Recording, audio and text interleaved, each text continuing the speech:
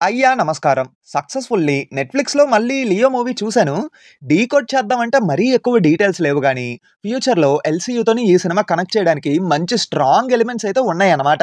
మరీ ఆ చిన్న చితక డీటెయిల్స్‌ని చెప్పను గానీ, ఎందుకంటే వీడియోలో కంటెంట్ కంటే సోదెక్కువుందని చెప్పి మీరనుకుంటారు కదా! అందుకే ఆ చిన్న చితక డీటెయిల్స్‌ని పక్కన పెట్టేసి, మోస్ట్ ఇంపార్టెంట్ పాయింట్స్‌ని ఎల్‌సీయూతో ఎలా కనెక్ట్ చేస్తున్నారు అన్న పాయింట్‌ని, అలాగే ఎల్‌సీయూలోని 'లియో' ఫ్యూచర్ ఏంటి అన్న దాని గురించి ఈ వీడియోలో మనం మాట్లాడుకుందాం. సో, ఇంతకంటే ఎక్కువ లాగ్ ఎందుకులే గానీ వాయిస్ లెట్ మావా.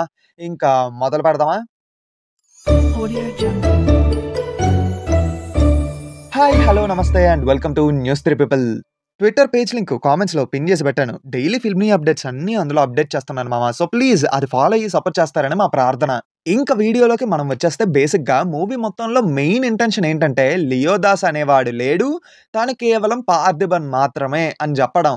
అంటే పార్థి మొత్తం అన్ని సీన్స్‌లో తను పార్థి అన్నట్టుగానే ఉన్నాడు తప్ప, క్లైమాక్స్‌లోని తాను లియోదాస్ అని చెప్పినంత వరకు డౌట్ రానివ్వడు. బట్ ఏంటంటే ఫస్ట్ 30 మినిట్స్‌లోనే మనకి డౌట్ వచ్చే పనొకటి పార్థి చేస్తాడు. బేసిక్‌గా పార్థి ఎలాంటి ప్రాబ్లమ్స్ కూడా లేకుండా ఉండాలి. ఫ్యామిలీతో ప్రశాంతంగా జీవితం గడపాలి అని చెప్పి హిమాచల్ ప్రదేశ్‌లో ఒక ఊర్లో అయితే ఉంటాడు. అయితే అప్పటి వరకు కామ్‌గా ఉండే ఆ విలేజ్‌లో collector death, veterinary doctor death, పైగా డాక్టర్‌ని గన్ యూజ్ చేసి చంపారు అని అనటం. అప్పుడు పార్థికి డౌట్ అనేది వచ్చుంటది. లియో గురించి తెలిసిన వాళ్ళు ఎవరైనా ఇక్కడికి వచ్చారా అని. అందుకే పార్థి ఫేస్‌లోని మనం చిన్నపాటి టెన్షన్‌ని, అలాగే ఎవరు వచ్చారు, ఎవరిదంతా చేశారు అన్న డౌట్‌ని మనం గమనించవచ్చు ఆ తర్వాత ఏం జరిగిందో మనకు తెలిసిందే కదా! Next one D'Souza character. అదే మన మన్సూర్ అలీ ఖాన్ గారు చెప్పే ఫ్లాష్ బ్యాక్ ఉంది కదా! యాక్చువల్లీ ఏంటంటే మన్సూర్ గారు ఫ్లాష్ బ్యాక్ స్టార్ట్ చేయడానికి ముందు అంటే 1999 అని చెప్పడానికి ముందు ఒక డైలాగ్ చెప్తారట. ప్రతి కథకి ఒక పర్స్పెక్టివ్ ఆఫ్ వ్యూ ఉంటుంది. ఈ కథకి ఇది నా పర్స్పెక్టివ్ అని చెప్తారు.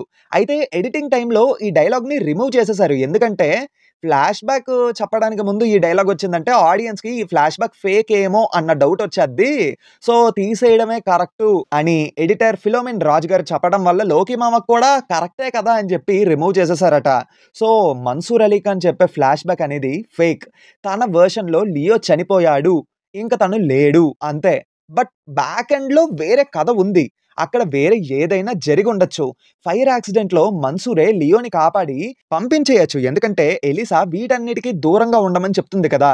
అందుకే జోషి పార్థి ఫోటో చూపించినప్పుడు కూడా లియోని సేవ్ చేయాలి అనే ఉద్దేశంతో పార్థి ఫోటో చూసి, ఇతను లియో కాదు. ఒక అమాయకుడిని ఈ విషయంలో ఇలా ఇరికిచ్చొద్దు అని చెప్తాడు. సో, పార్థి కాకుండా థర్డ్ పర్సన్ లియో ఫ్లాష్ బ్యాక్‌ని చెప్తారు. పార్థికి తెలుసు తన గతం ఎలా జరిగింది, ఏం జరిగింది అని.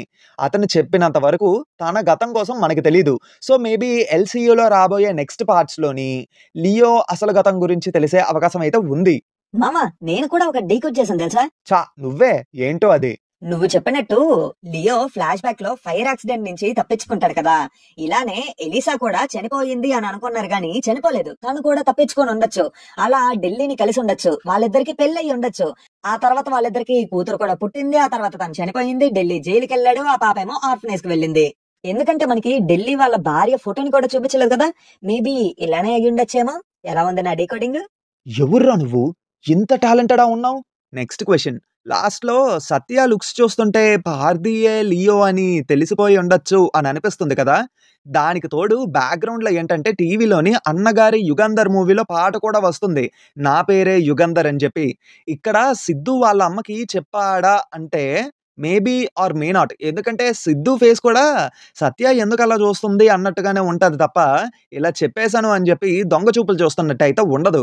మై గెస్ ఏంటంటే క్లైమాక్స్‌లో హెరాల్డ్ దాస్ మొబైల్‌ని స్పీకర్‌లో పెట్టమని అంటాడు కదా! అలా ఆ ఫోన్ కాల్ కట్ చేసి ఉండకపోవచ్చు. ఎందుకంటే కట్ చేసినట్టు మనకి చూపించరు.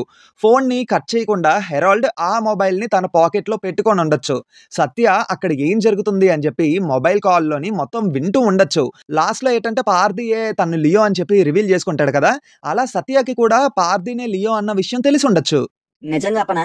దీనికంటే నేను చెప్పిన ఎలిసా ఢిల్లీ థియరీయే బాగుంది ఓకే కానీ ఇప్పుడు ఎల్‌సీయూలోకి అసలు పార్థి అలియాస్ లియో ఎలా ఎంటర్ అవుతాడు? తన ఫ్యూచర్ ఏంటో తెలుసుకుందాం. ఆల్రెడీ నెపోలియన్ క్యారెక్టర్‌తో 'ఖైదీ' రిఫరెన్స్ ఇచ్చారు. క్లైమాక్స్‌లో విక్రమ్ కాల్ చేసినట్టుగా కూడా రిఫరెన్స్ ఇచ్చారు.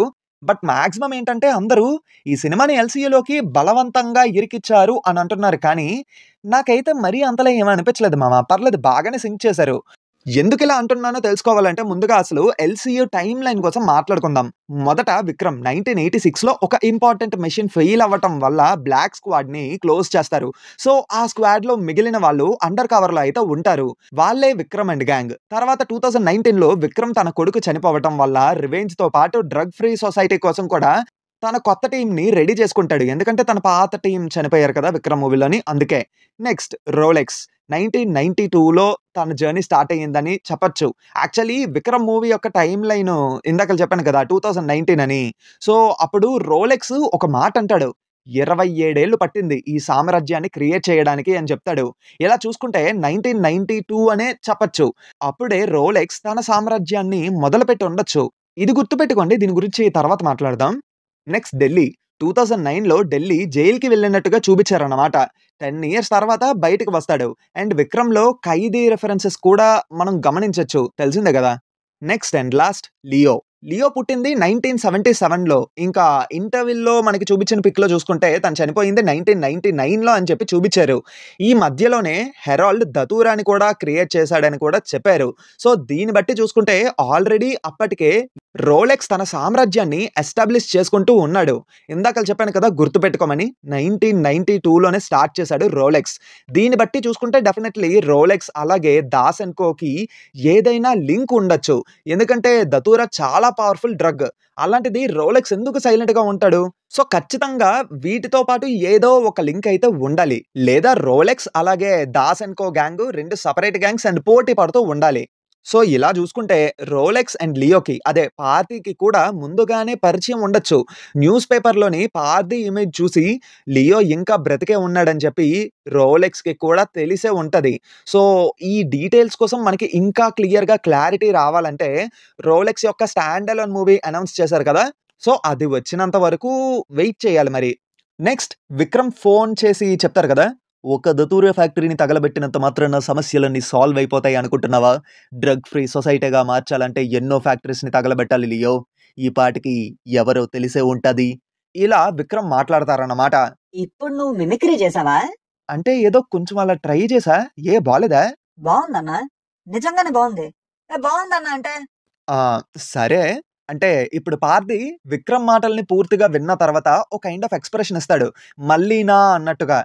లాస్ట్లో కూడా ఈ పాటికి ఎవరో తెలిసే ఉంటుంది అని అన్నారంటే దాన్ని బట్టి చూసుకుంటే ఆల్రెడీ విక్రమ్ అండ్ లియోకి పరిచయం ఉండే ఉంటుంది. అంటే my guess Leo fire accident నుంచి ఎస్కేప్ అయిన తర్వాత విక్రమ్ని మీట్ అయి ఉండొచ్చు. అలా ఈ విధంగా వాళ్ళు కలిసి ఉండొచ్చు. విక్రమ్కి లియో ఫ్లాష్ బ్యాక్ గురించి కూడా తెలిసి ఉంటుంది. అందుకే లియో అని పిలిచారు. అలాగే ఇప్పుడు లియో పార్థి కింద మారాడు కదా. సో తన గురించి తెలుసుకోవడానికి అని చెప్పి మనకి విక్రమ్ మూవీలో చూపించిన ఆ అమ్మాయి ఉంది కదా మార్నింగ్ గర్ల్ తనని హిమాచల్ ప్రదేశ్కి విక్రమ్ పంపిస్తారు. ఎందుకంటే తను ఇప్పుడు బ్లాక్ స్క్వాడ్లో కూడా మెంబర్ కాబట్టి. ఇంటర్వెల్ తర్వాత ఆ రెఫరెన్స్ని మనం గమనించవచ్చు మేబీ లియో పార్థిగా మారడానికి ఆల్సో ఇతను లియో కాదు పార్థియే అని చెప్పడానికి కావాల్సిన ప్రూఫ్స్ క్రియేట్ చేయడానికి విక్రమ్ హెల్ప్ తీసుకొని వాటిని తయారు చేసి ఉండొచ్చు. ఆల్సో ఇన్ని ఫేక్ చేసిన వాళ్ళకి బుల్లెట్ మార్క్స్ని బాడీ మీద నుంచి రిమూవ్ చేయడం పెద్ద పనేం కాదు. ఇదే విధంగా బాడీ మీద ఆ బుల్లెట్ మార్క్స్ కూడా రిమూవ్ చేసి ఉంటారు. అంటే బుల్లెట్ మార్క్స్ కోసం లోకిమావ్ కూడా కన్ఫర్మ్ చేశాడు ఒక ఇంటర్వ్యూలో అందుకే చెప్తున్నా. సో దానివల్ల ఏంటంటే ఆ బుల్లెట్ మార్క్స్ లేకపోవడం వల్ల తను లియో కాదు తను పార్థియే అని చెప్తారు కదా అందుకు. సో ఈ విధంగా మనం గనక చూసుకుంటే Leo is very important character in LCU also future LCU ప్రాజెక్ట్స్లో కొత్త కొత్త క్యారెక్టర్స్ని కూడా ఇంట్రడ్యూస్ చేస్తామని చెప్పారు లోకి మామ. ఆల్సో నెపోలియన్ క్యారెక్టరే లియో అండ్ ఢిల్లీ కలవడానికి మేజర్ రోల్ ప్లే చేయొచ్చు. ఆల్సో నెపోలియన్ రిటైర్ అవుతున్నారు కదా ఇంకా ఎల్సీయూలో ఉండరా అంటే అలా ఏం లేదు. డెఫినెట్లీ ఫ్యూచర్ ప్రాజెక్ట్స్లో కూడా Napoleon character key role play చేస్తుందని లోకి మామైతే చెప్పడం జరిగింది. అండ్ ఫైనల్లీ ఈ వీడియో ఇక్కడతో ముగిస్తున్నా మామ. మీకు ఇంకేమైనా క్వశ్చన్స్ ఉంటే కింద కామెంట్స్లో అడగండి. I will try to solve them ఏమంటారు? ఇంకా మీకు ఏమైనా డీటెయిల్డ్గా అండ్ డీప్గా తెలియాలి అంటే లోకేష్ కనకరాజ్ డీకోడింగ్ లియో అని చెప్పి యూట్యూబ్లో సెర్చ్ చేస్తే ఆయన ఇచ్చినటువంటి ఇంటర్వ్యూ ఉంటుంది. అది ఒకసారి వెళ్ళి విజిట్ చేయండి. సబ్ టైటిల్స్ కూడా ఉన్నాయి సో నో ఇష్యూస్. అంటే కావాల్సిన ఇంపార్టెంట్ పాయింట్స్ అన్నిటిని ఇక్కడ నేను డిస్కస్ చేసుకున్నాను. ఇంకా కొన్ని పాయింట్స్ ఉన్నాయి. వాటి గురించి తెలుసుకోవాలంటే ఒకసారి ఇంటర్వ్యూ విజిట్ చేయండి. మీకే ఒక క్లారిటీ ఉంటుంది. ఏమంటారు? హోప్ఫుల్లీ ఈ వీడియోలో ఉన్న కంటెంట్ మీకు బాగానే నచ్చి ఉంటుంది ఏముంది వీడియోలో అంత కంటెంట్ లోపల ఏం లేదు. డవ్వా. నువ్వు ఎదవ టీటీలు ప్లే చేయకు. వీడియో చూసిన వాళ్ళకి ఈ వీడియో నచ్చే ఉంటుంది. నచ్చితే ఖచ్చితంగా లైక్ చేస్తారు షేర్ చేస్తారు అలాగే సబ్స్క్రైబ్ కూడా చేసుకుంటారు. ఏమమ్మా ఖచ్చితంగా చేస్తారు కదా? మీరు ఇలానే సపోర్ట్ చేస్తే మేము కూడా కొత్త వీడియోలు చేయడానికి మాకు కాస్త ఎనర్జీ వస్తుంది అలాగే మోటివేషన్లో కూడా ఉంటుంది. ఏమంటారు? ఇంతటితో ఈ వీడియో సమాప్తం. మళ్ళీ కొత్త వీడియోలో కలుద్దాం. Until then take care and bye bye